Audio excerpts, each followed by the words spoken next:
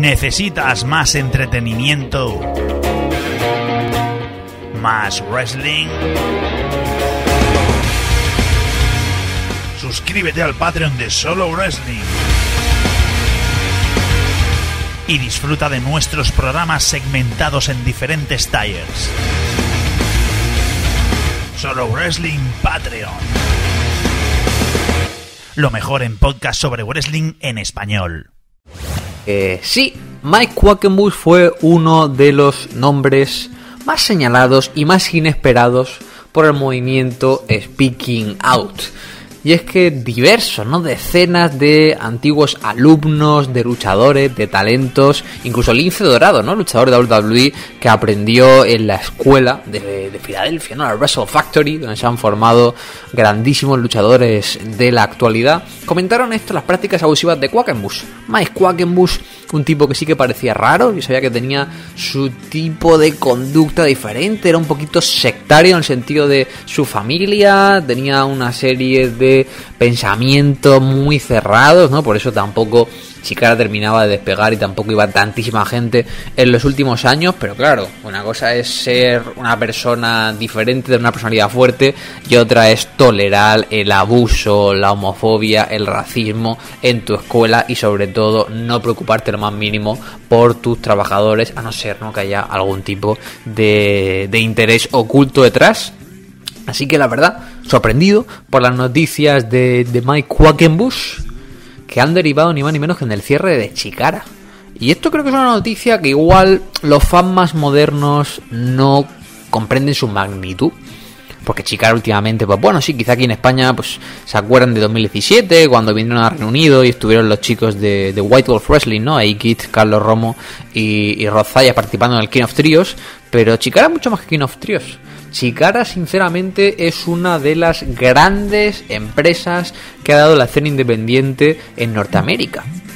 Chicara es una de las grandes, ¿no? Chicara, al principio, fundada en 2002 en Filadelfia, obviamente por Mike Quackenbush, es esa empresa donde decenas de luchadores que ahora son élite mundial se formaron. O sea, en Filadelfia, ¿qué teníamos? En la costa este, Combat Zone Wrestling para la gente ultraviolenta, Ring of Honor como la gran empresa de culto y Chicara como ese guilty pleasure, ¿no? Como ese caramerito oculto que siempre tenía relaciones con otras empresas pero tenía una identidad muy clara, que apostaba por el wrestling técnico, por esta influencia que tenía Mike Quackenbush tanto de México como de Japón con este estilo lucha libresco con ese toque de comedia, con esa storyline tan marcadas, con ese mundo de fantasía, de ilusión, de diversión. No es triste, no que una empresa que ha pues regalado tantos momentos divertidos al mundo tenga que acabar de una forma tan negra, ¿no? Después de un episodio como este.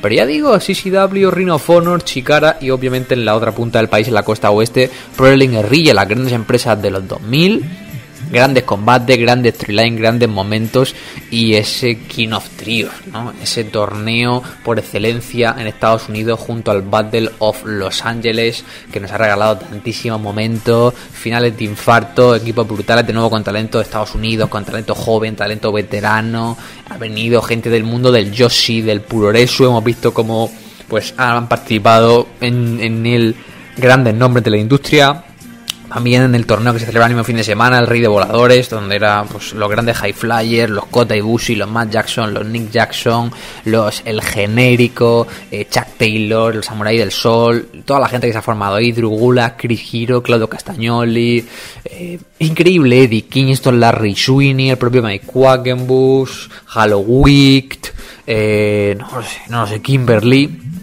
Grandes nombres, la verdad, grandes, grandes nombres. Se formaron en Chicara, grandes momentos nos dieron. Sí que es cierto, quizás sus últimos años no estaba atravesando su mejor momento, pero no por ello deja de ser triste que una empresa no tan importante cierre después de 18 años. Es un palo, un palo duro y tengo amigos que eran muy fans de Chicara y me alegro en cierto modo de que Fede, ¿no? Fede Frongel, compañero de Ratelonas o Wrestling.com, gran amigo, eh, más allá de los teclados, pues tenía dudas de si ir a Chicar o no el fin de semana de WrestleMania pasado y estoy contento de que por lo menos Fede pudiera disfrutar una vez en su vida de, de Chicara, ¿no? De esta empresa que tantas alegrías le ha dado en directo, en vivo y en directo.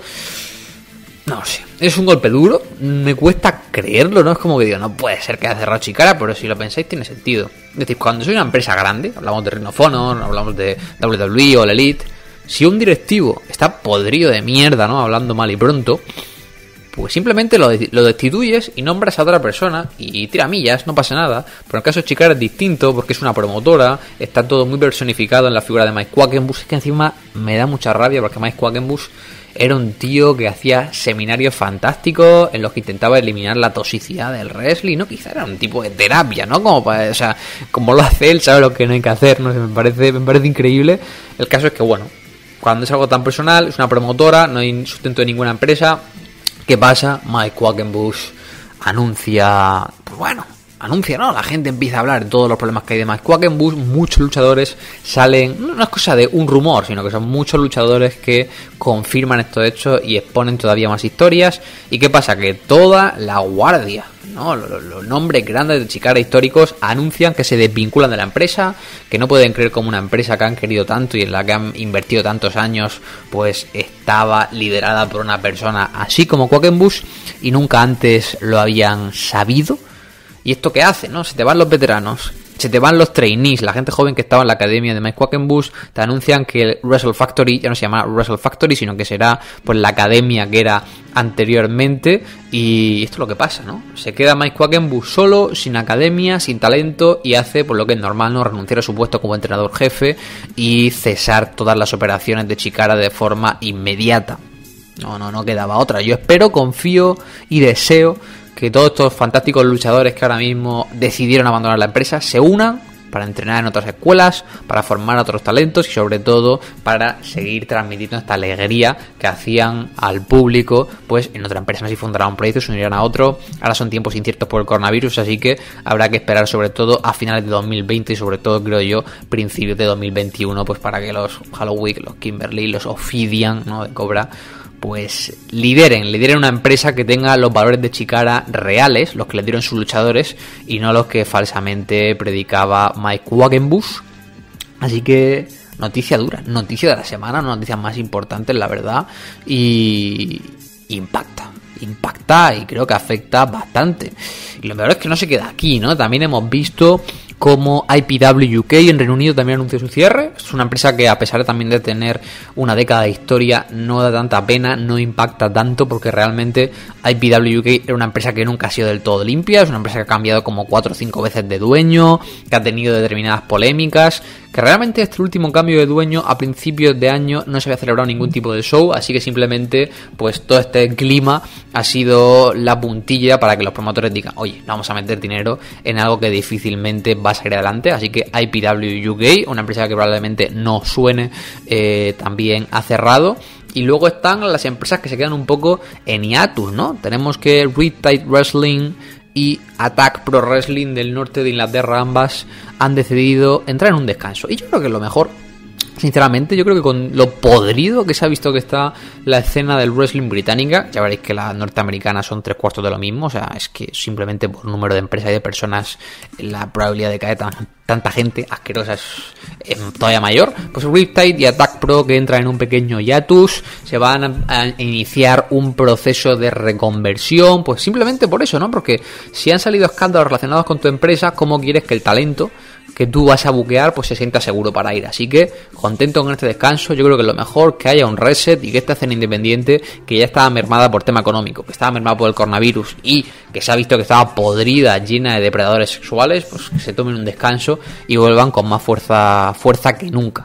Veremos cómo avanza. Fight Club Pro creo que podría seguir los pasos. Progress ya anunció cambios en la directiva, que tampoco salieron bien, ¿no? Porque anunciaron cambios en la directiva y de repente dijeron que uno de los que estaba involucrado, Michael Oku, ¿no? The Ochmo, conocido con estos dos nombres eh, en la escena independiente, pues salió que también tenía una serie de comentarios homofóbicos y racistas y acto seguido Michael Oku renunció a su puesto porque dijo obviamente pues no voy a intentar aquí liderar un cambio que se está viendo que va en contra de cosas que he hecho y de mis valores, así que buena decisión por parte de, Michael Oku si me preguntáis. WrestleGate también parece que podría cerrar, ¿no? La empresa de Nottingham, empresa pequeñita, su creador, ¿no? Su principal promotor, eh, Gary Ward, anunció que se desvinculaba del proyecto, un proyecto que hacía meses que lo llevaba la gente de Russell Talk, aquí está dentro Alex Shane, eh, Alex Shane es un promotor bastante horrible, o sea, hizo cosas horribles, este, esto conoció antes incluso del Speaking Out, ¿no? Es el luchador que empezó a, a, propulsar el wrestling independiente a principios de los 2000, ¿no?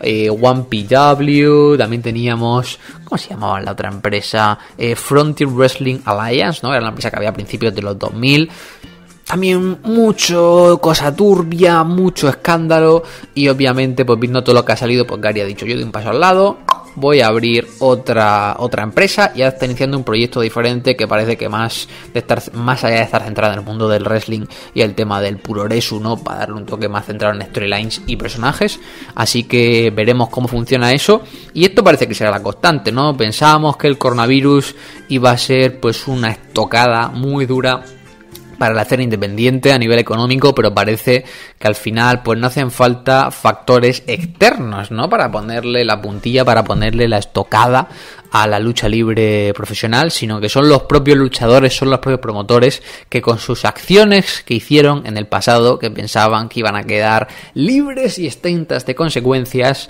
los que han escrito, no los que han firmado la sentencia de muerte para muchas empresas. Veremos cómo evoluciona el tema, la verdad son tiempos convulsos, sigue habiendo mucho wrestling independiente, pero ya digo, sobre todo el cierre de Chicara es una noticia grave, grave, ¿no? Es dura, es dura, es impactante, es algo que no, no, no, yo en mi caso no pensaba que fuera a leer en ningún momento, así que estaremos atentos de cómo evoluciona todo y como siempre en solowrestling.com, Mundo Wrestling y en mi Twitter, arroba Alex Jiménez BCN, estaré informándoos al minuto de todo lo que suceda en la escena internacional. Esto es en cuanto a empresas, pero también ha habido particulares que se han visto salpicados y que podrían hacer cambiar el rumbo de otra mítica, legendaria y reputada promotora.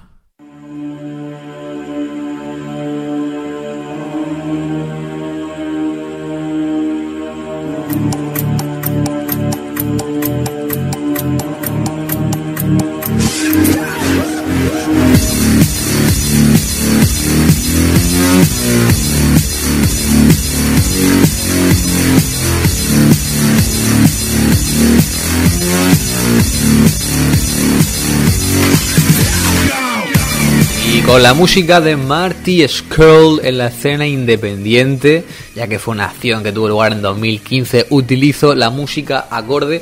Hablamos de Rhino of Honor, ¿no? Probablemente, no, probablemente no, mi gran empresa favorita histórica y favorita en la actualidad, junto, ya sabéis, no hace falta que os lo diga, GCW Game Changer Wrestling y es que aquí tienen que pagar justos por pecadores, ¿no? Quiero decir, aquí todo el mundo tiene que atenerse a las consecuencias, ¿no? El tiempo te acaba devolviendo lo que le das, tanto en el bueno como en el mal sentido de la expresión. Es el caso de Marty Scroll, ¿no? Marty Scroll, una persona que había defendido por activa y por pasiva, una persona que me había emocionado, ¿no? Por esta reconstrucción que nos estaba presentando en Rhino Honor Wrestling, por estos cambios positivos, por esta buena vibra, por esta motivación y seguridad que le transmitía a los trabajadores para renovar por, la empresa hasta en tiempos convulsos, tiempos en los que hay pues opciones mucho más llamativas, ¿no? Como podría ser New Japan, como puede ser WWE, Wall Elite Wrestling, pues parece que los días de March Curl en el mundo del wrestling están contados, ¿no?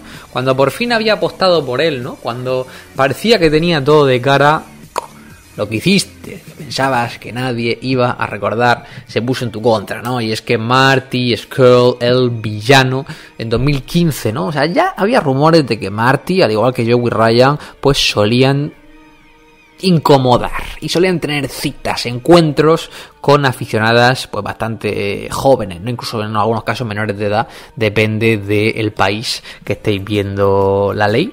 Y ese fue el caso de, de Marty, ese fue el caso de Marty Skrull que sinceramente, por lo que hizo en 2015, fue cuando él tenía ya como cerca de 30, ¿no? 25, 26 años.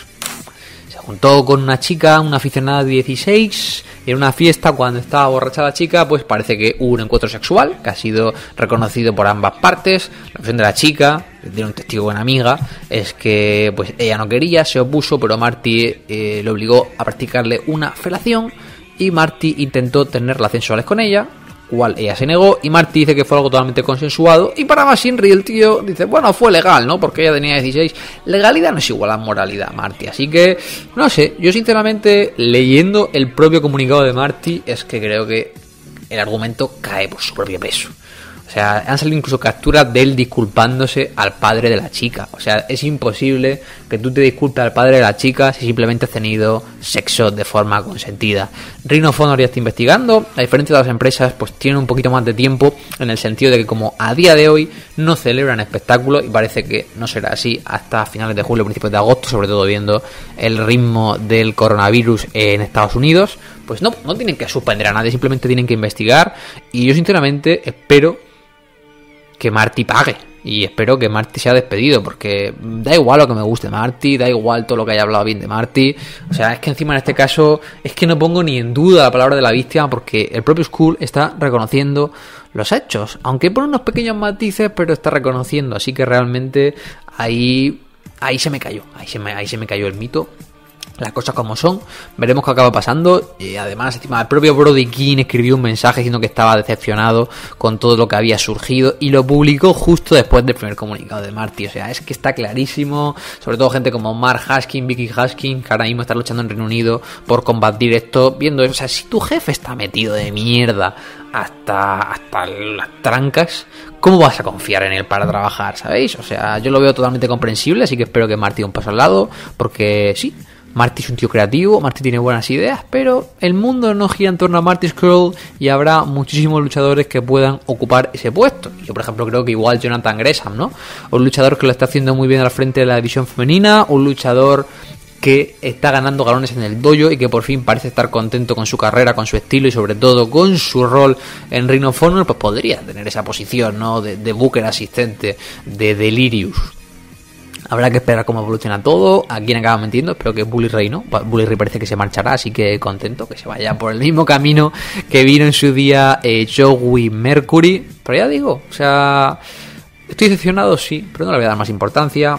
Nadie tiene que ser más grande que una empresa, así que Marty lo hiciste mal, reconócelo como hiciste en tu comunicado y márchate y deja espacio a aquellas personas que no solo se preocupan por el wrestling, que no solo se preocupan por lo que tienen en sus bolsillos, que no solo se preocupan por tener satisfecho su apetito sexual, sino que también se preocupan por crear un ambiente sano, seguro y no incomodar bajo ningún contexto a, a sus compañeros. Así que decepción grande, Marty Skull, pero que, que, se haga justicia, que se haga justicia, que se tomen las medidas pertinentes, sinceramente. En una nota más positiva, ¿no? Hablando de Rhino Honor, bueno, también anunciaron la renovación de Bobby Cruz, que quizá no suena el nombre de Bobby Cruz, pero si os digo el ring announcer de Rhino Honor, probablemente suene más, ¿no? Este hombre que presenta todos los combates, contento, ¿no?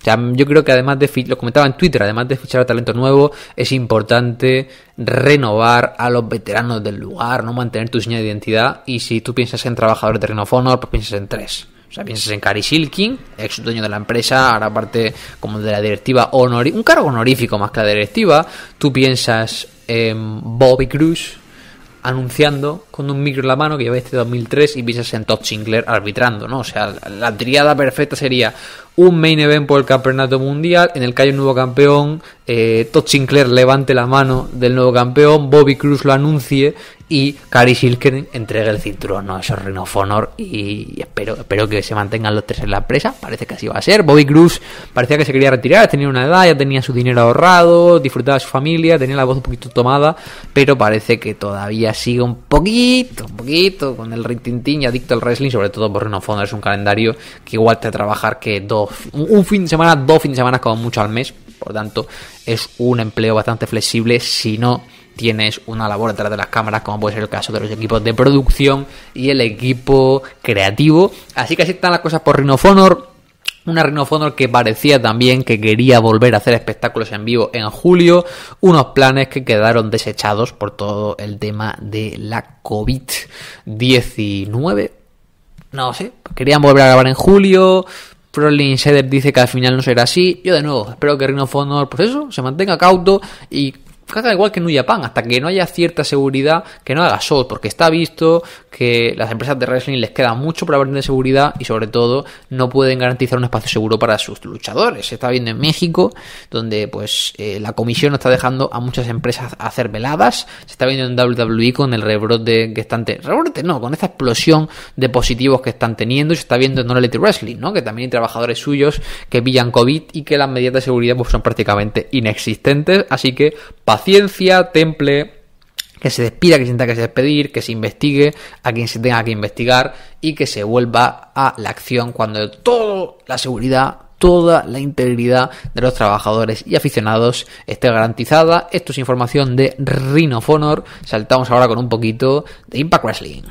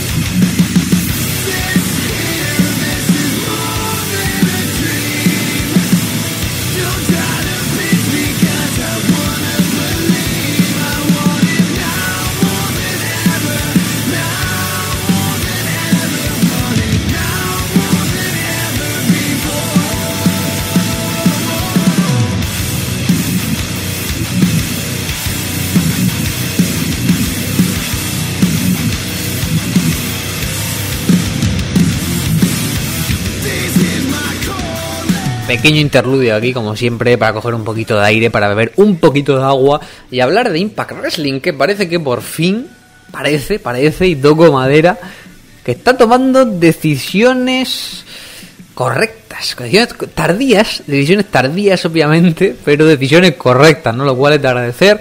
Y bueno, los fans de Impact Wrestling habréis descubierto que la canción que sonaba de fondo era el tema oficial de entrada del señor Michael Elgin, no del señor Big Mike. Y es que por fin Michael Elgin se va a tomar por culo. Las cosas como son. O sea, Impact Wrestling siempre la había criticado. Yo que me costaba mucho conectar con ellos. Porque muchos luchadores que no tenían lugares en los que caerse muerto más allá de alguna empresa independiente por polémicas, por casos de abuso, por casos de agresiones, por todo tipo de malas conductas, acababan en Impact y no pasaba nada en Impact Wrestling, ¿no? Le, daba un poquito igual a Scott de Amor, a Don Callis, pero obviamente le acabó explotando en la boca la bomba y están tomando las decisiones acertadas. ¿Por qué? Porque empezaron a investigar los casos de Dave Christ y de Joey Ryan y obviamente tú no puedes anunciar un despido a Joey Ryan, ¿vale? No puedes anunciar que despides a Joey Ryan por acusaciones de abuso sexual y mantener a Michael Elgin, ¿no? Que es un tío que precisamente llegó a Impact por la puerta de atrás hace dos años porque no lo querían en ninguna empresa de Estados Unidos, ni tan siquiera lo querían en Japan Pro Wrestling, ¿no? Así que había que hacerlo y así ha sido. Joey Ryan fuera de Impact Wrestling, Dave Chris fuera de Impact Wrestling, Michael Elgin fuera de Impact Wrestling. Buenas noticias. La verdad, eh, se está perdiendo un poquito de Star Power, ¿no? Dirán los fans de Impact con Michael Elgin. Bueno, hay gente de sobra, puedes construir a gente como Ace Austin, creo que es el momento de apretar el gatillo con él, ponerle un cohete y subirlo hasta el estrellato. Tiene gente como Eddie Edwards, pues es un momento para que la división de knockouts dé ese paso y sea como lo más importante del, show, ¿no? Y a partir de ahí, pues construyas a tu división masculina de nuevo. Quiero decir, tiene ya ser Jordan Grace contra Diona Buracho en el aniversario que se ve increíblemente bueno, esa gente como Talla, eh, no sé, tienes nombres potentes en la división y se pueden hacer cosas interesantes, enfocar tu producto en las mujeres y poco a poco construir pues talentos individuales, ¿no? Quizá rompiendo los Rascals, ya veremos, hay talento en la X Division, hay talento en la división de mujeres, así que simplemente será cuestión de tiempo ver un poquito cómo, cómo se puede gestionar todo.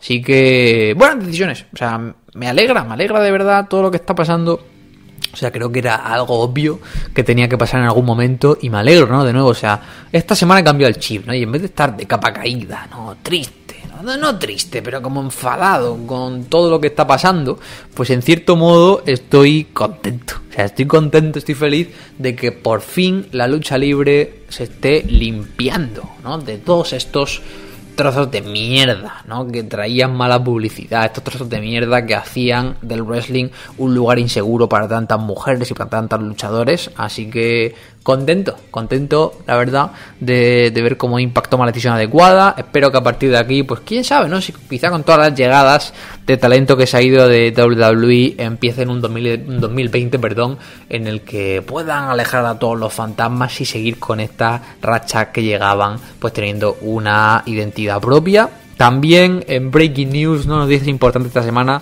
tenemos la marcha de Tessa Blanchard yo os lo dije ya, que Tessa Blancha no era trigo limpio. Que me encantaba, sí, me encantaba Tessa. Era una mujer que sabía. Era el, era el típico luchador que sabía presentarse como una estrella, que te lo creían de verdad, que lucía como tal, que hablaba como tal, que se movía como tal, independientemente de que luego fuera mejor o peor en el, ring, que eso ya es algo secundario en este negocio. Pero una tía problemática. Es una tía problemática porque había filtrado resultados del Million Classic en WWE, por lo tanto no le querían. Era una tía problemática porque pues, hacía de bully en el vestuario, en las promotoras que habían estado en Estados Unidos. Una tía que se había actuado de forma racista cuando estaba en Japón. O sea, era una tipa que no querían en ningún sitio. Y es una tipa que ha demostrado que además de ser mala persona, es mala profesional, ¿no? Porque Impact le dijo, hey, mándanos vídeos, ¿no? Como hicieron Ethan Page y Josh Alexander de tu casa. Y así por lo menos, aunque no luches pues te podemos sacar en televisión. No. Eh, bueno, vienes a Nashville al pay-per-view Slammiversary y pierdes el campeonato. No. Bueno, Tessa, envíame un vídeo diciendo que dejas vacante el campeonato y ya está. No, pues le han tenido que quitar el puto cinturón de campeón de Impact Wrestling y se va a ir por la puerta a dar Tessa Blanchard porque tiene un ego más grande que la galva de Michael Elgin, ¿no? Atando caos en Impact Wrestling. No lo sé, eh, Melser comenta que igual va a WWE o Elite. A mí me sorprendería mucho que tuviera ofertas de ambas empresas. O sea, apareció en aquel four-way match de All In, ¿no? la génesis de All Elite Wrestling, y no la contrataron por algo. Y WWE nunca la ha querido, ¿no? Le dio esa oportunidad cuando el May Young y le decepcionó, así que seguramente pues se quede por ahí danzando. Igual acaba en una Elite, ¿no? Porque su padre es Turi Blanchard y seguro que tiene algún tipo de presión por allá.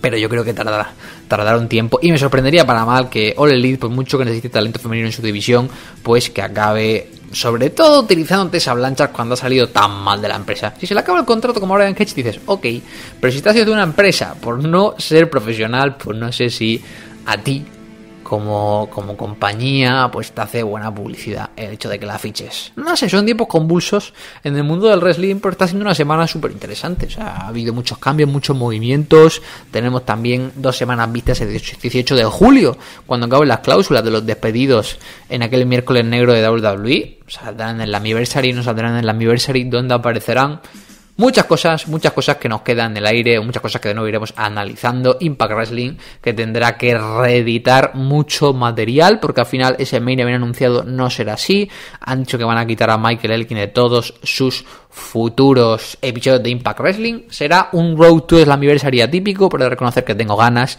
y que estoy ansioso de que Ace Austin levante el campeonato mundial, porque este esos talentos propios, ¿no? Que Impact ha apostado sus talentos propios por los que Impact ha querido subir y que creo que sobre todo ahora, ¿no? que ha salido a la luz pues todas estas malas prácticas, es el momento de que le den un momentum. Así que igual que decía con Marty, contento de que la mala gente abandone una industria. Espero que estas limpiezas se hagan eventualmente en todas las industrias del mundo, pero ya no sea solo por abuso sexual, ¿no? O sea, toda la gente que se crea superior a todo, que tenga prácticas abusivas que a fin de cuentas tengan su merecido porque ya han pasado muchas décadas en las que estos tiranos pues se han ido de rositas como si no hubiera pasado nada y han vivido su vida a cuerpo de rey.